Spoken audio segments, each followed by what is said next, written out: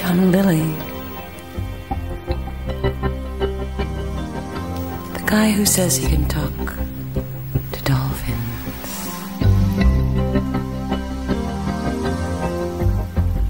Said he was in an aquarium. And there was this big whale.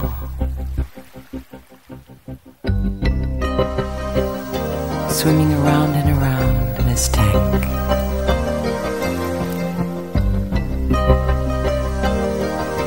And the whale kept asking him questions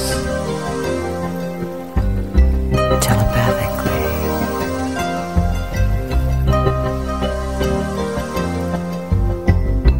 And one of the questions the whale kept asking was Do all oceans have walls?